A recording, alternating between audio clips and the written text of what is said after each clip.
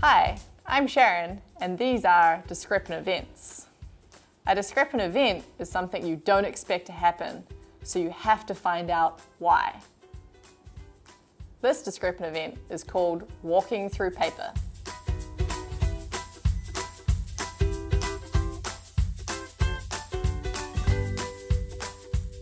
You can like cut like a big giant circle for your waist over here, and then you can just like make like like a hot dog part on the sides, and then you can just the hot dog parts are for like your shoulders to go through. Then the big giant circle is for your waist to go through. Okay.